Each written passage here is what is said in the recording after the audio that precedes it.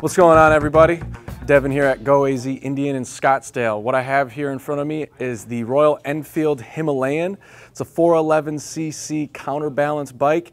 Um, the counterbalance really works well with these because being at a 411cc, um, it's not doesn't have too much power, but the torque to weight ratio is great and being counterbalanced you can get up to about 70 75 comfortably so instead of trailering this to go off-roading you can take this on the road, off the road.